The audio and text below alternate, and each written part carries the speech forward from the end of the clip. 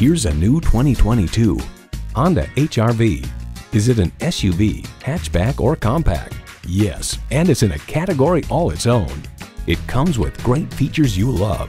Inline four-cylinder engine, front heated bucket seats, external memory control, manual tilting steering column, doors and push-button start proximity key, voice activation, power sliding and tilting sunroof, wireless phone connectivity, and streaming audio.